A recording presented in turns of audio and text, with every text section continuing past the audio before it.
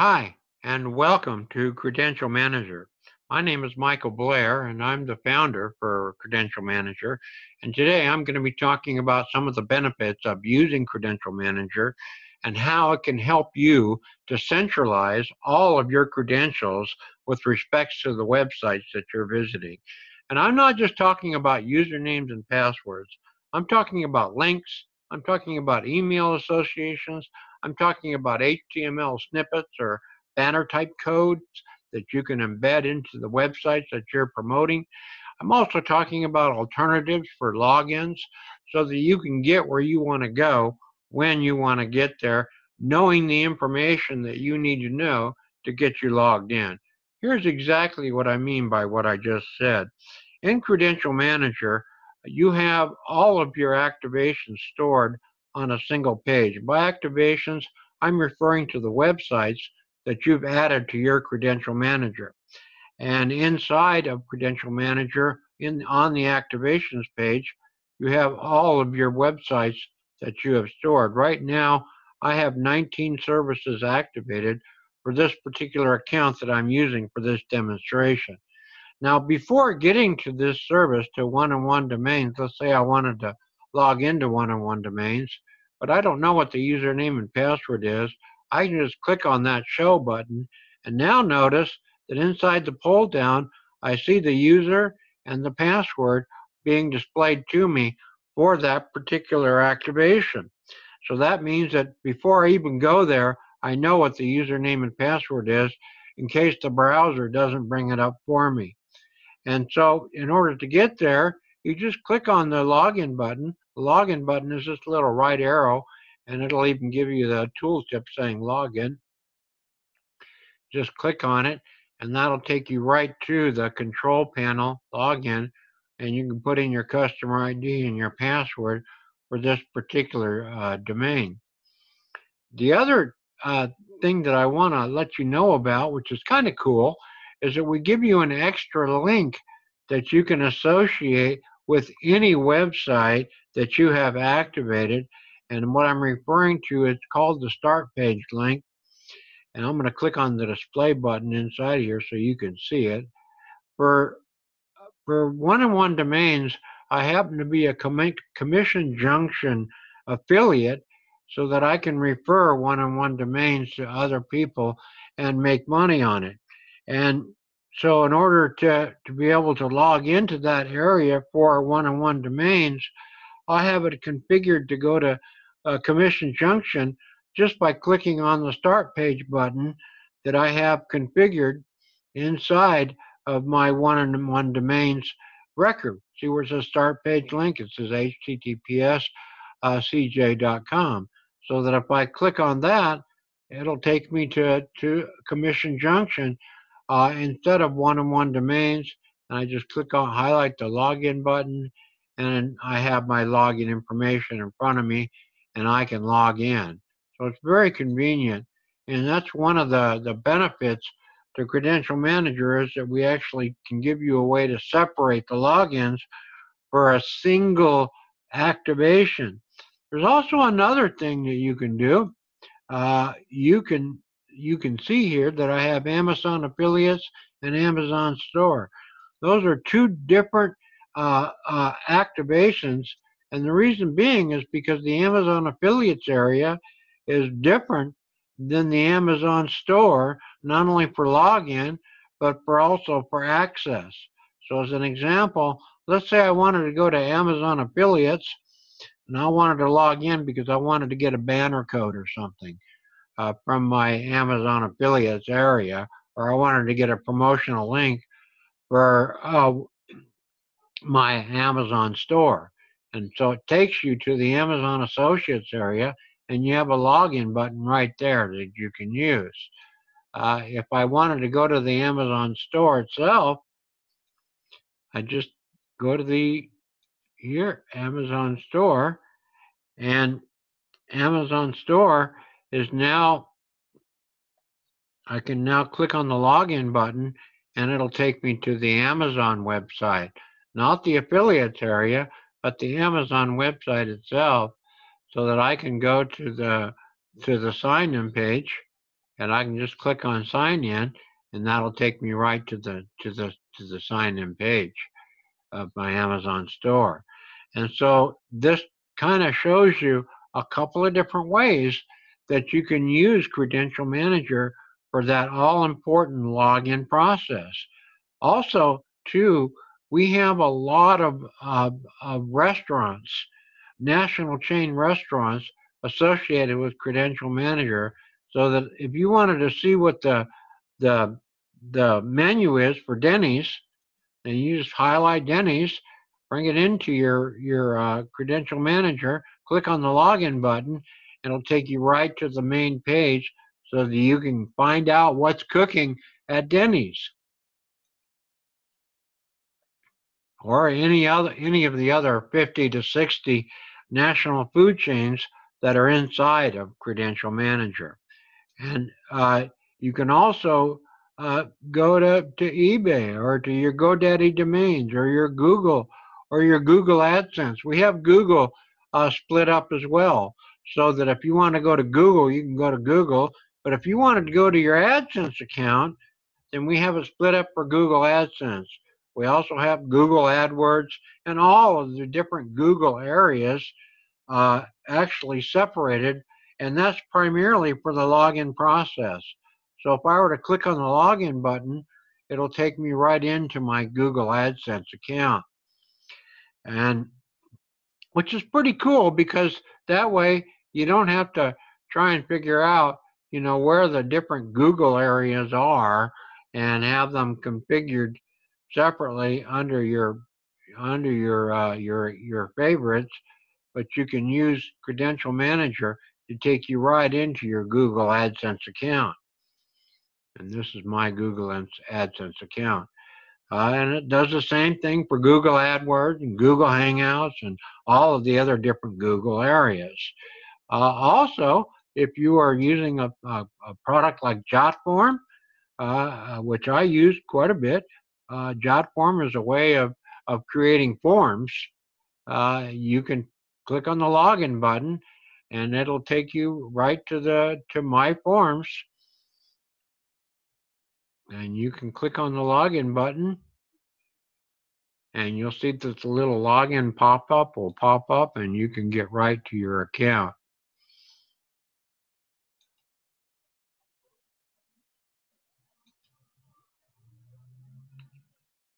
So you can see that it's pretty pretty darn convenient.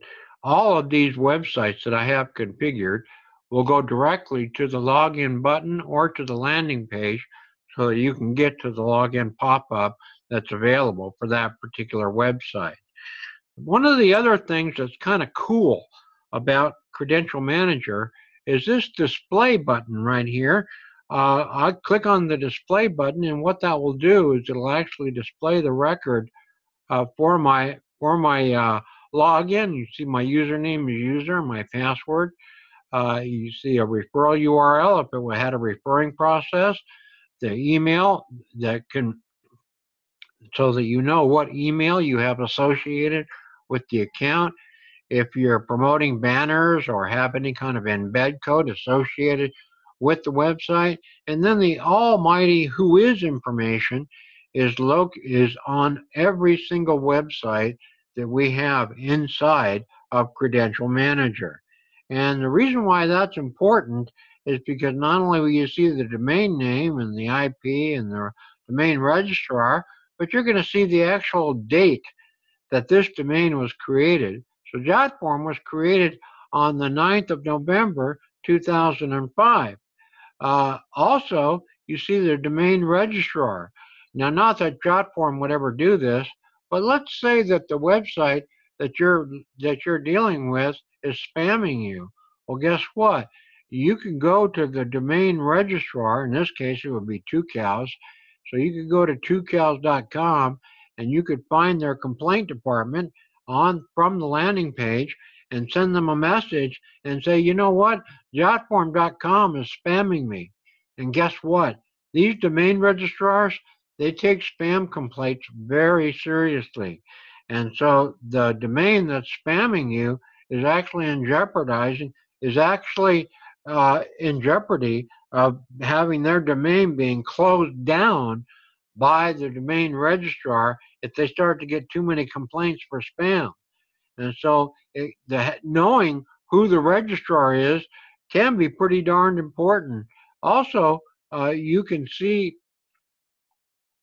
uh, possibly where they're located if they're displaying that information or even their phone number so you can give JotForm a call and see and, and ask them specific questions if they don't have their phone number listed on their website. So the WHOIS information is pretty important and it gives you a way whereby you can actually have more information on the website that you're dealing with. And that information is on every single website inside the database uh, and that you have activated. You also have a, a way whereby you can get to a game site. So I play a lot of chess, and so I go to chess.com uh, pretty regularly to play chess.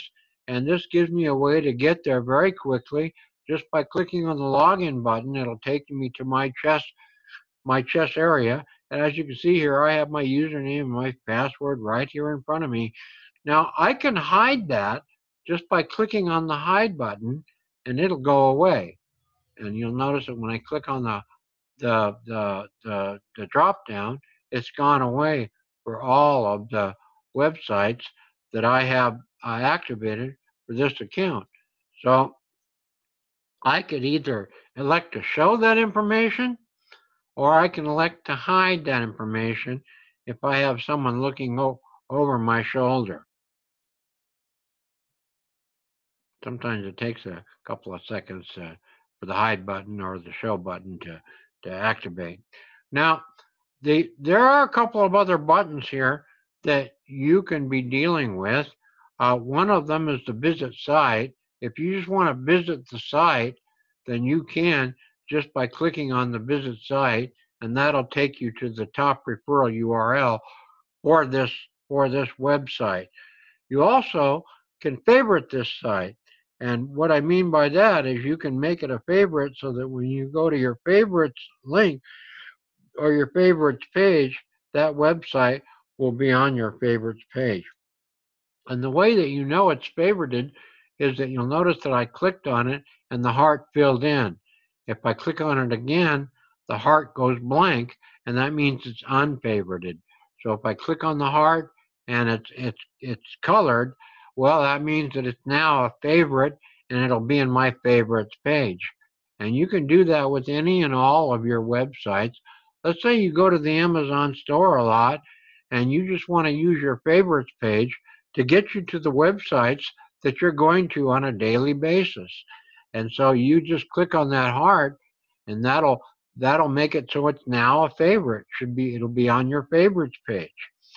So I'm hoping that you'll get the idea that there's really a lot that you can do with Credential Manager and it gives you an excellent resource for recovering all of the information that you have associated with your with your with your uh, the websites that you're u- utilizing, including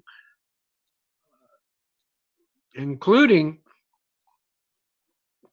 the banner and embed code. And the banner and embed code is is also pretty darn important, especially for websites that you're promoting or that you're an affiliate of, and you want to embed that that banner code this keeps you from having to log into that affiliate area and find the banner code and copy it and then paste it because you know you've already done it here. Again, you have a centralized location for all of the information that you're having stored for the websites that you're using and you can create as many banner codes for each website as you want you can create as many usernames and passwords as you want. Just by clicking on the edit button, you can see that I have two logins here. And if I wanted to create a third login, I just click on that plus button. You'll see that I have two referral URLs. If I wanted to add another link, any link, doesn't have to be an affiliate link. It could be a blog link. It could be a social link. It could be any link that you want to put that you're having associated with the website, that you're dealing with at the time. Uh, and if you want to add another uh, banner code, you have the same option by clicking on the plus button. If you want to add another email, you have the same option by clicking on the plus, bu- the plus button inside of your Amazon affiliates or whatever website you're editing. And you use the edit button to do that with. Also, the, one of the last things I want to show you is that you do have a notes section.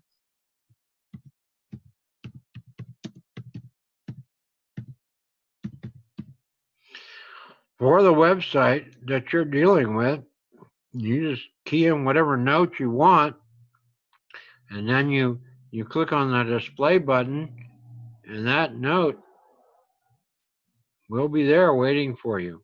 And it's pretty large. You can, I don't know if you can write a novel in there, but you do have a lot of characters that you can create. So you can have a very large notes section for every single website that you're dealing with. Well, listen, I want to thank you for visiting with Credential Manager today, and I hope that this recording has given you some insight as to how you can best use this product and how you can have a real solid credential management solution that's cloud based, internet based, that you can use any device to get to, whether it's your desktop, your laptop, your tablet, or even your phone. You can use them to get access to whatever credentials you want to have access to at the time and place from anywhere in the world. And so it's a very powerful yet simple and easy to use product that you can use for tracking and recovering your credentials.